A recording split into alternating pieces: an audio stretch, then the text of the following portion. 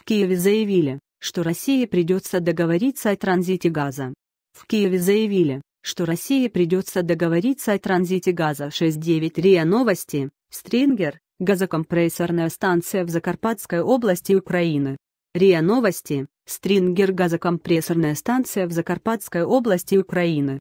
Архивное фото Москва, 25 Янфрия Новости. Россия будет вынуждена подписать с Киевом новый контракт на транзит газа в Европу, так как до запуска газопровода «Северный поток-2» все равно остается необходимость обеспечивать поставки голубого топлива, Такую уверенность в эфире онлайн-канала UMN высказала замминистра энергетики и угольной промышленности Украины Наталья Бойко. По мнению чиновницы, одним из факторов, из-за которого Россия будет вынуждена подписать новый контракт, является необходимость продолжать транзит газа через Украину из-за неготовности газопровода «Северный поток». 2. 23 января, 8 часов ни денег, ни транзита. Украина провалила газовые переговоры в Брюсселе до 1 января 2020 россияне все равно не успевают построить свой знаменитый и очень дорогой Северный поток. 2. Им все равно придется каким-то образом транспортировать свой газ в Европу.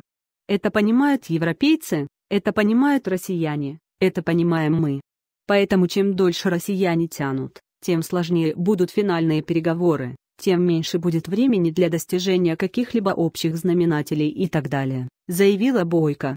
С учетом данных обстоятельств, Киев не намерен идти на компромиссы по решению стокгольмского арбитража, так как позиция Москвы ухудшается и ухудшается, добавила чиновница.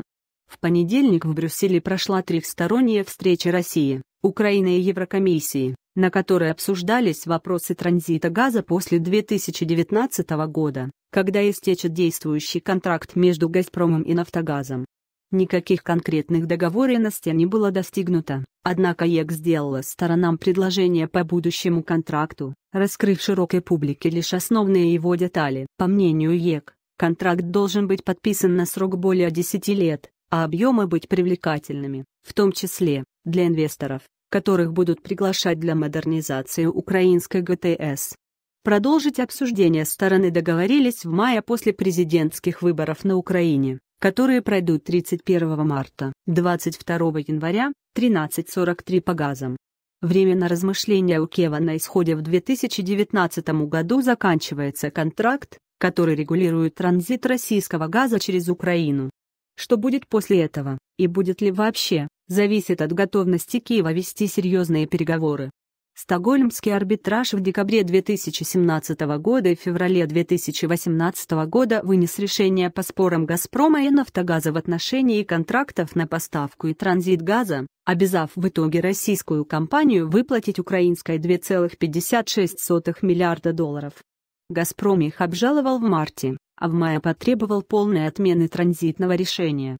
В 2018 году «Нафтогаз» начал новый арбитраж, в рамках которого требует от «Газпрома» пересмотра тарифа на транзит газа в 2018-2019 годах. Исковые требования компания оценила в 11,58 миллиарда долларов. Северный поток-2 В настоящее время «Газпром» реализует проект «Северный поток-2», который предполагает строительство двух ниток газопровода общей мощностью 55 миллиардов кубометров газа в год от побережья РФ через Балтийское море до Германии. Против проекта активно выступают Украина, которая опасается потерять доходы от транзита российского газа, и ряд европейских стран, включая Польшу, Латвию и Литву, а также США, продвигающие в ЕС свой СПЭГ.